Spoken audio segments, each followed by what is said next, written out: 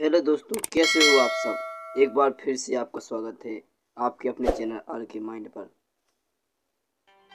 क्या दोस्तों, आप लोगों को पता है कि हीरे का क्या उपयोग होता है और हीरा कहाँ पाया जाता है?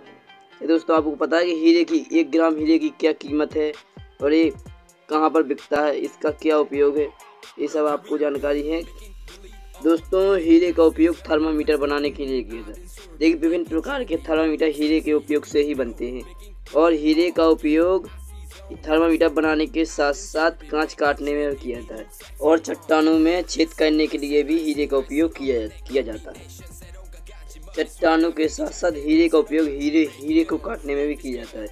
हीरा एक दूसरे को ही काट सकते हैं। हीरे को और कोई वस्तु नहीं काट सकते। दोस्तों, एक ग्राम हीरे की कीमत लगभग तीन लाख चौबीस हज़ार है। दोस्तों, हीरा भारत में पन्ना में पाया जाता है। हीरा भारत में मध्य प्रदेश के पन्ना में पाया जाता है, पन्ना की खानों में। और यहाँ पर खानों में बहुत ही अधिक मात्रा में हीरा पाया जाता है।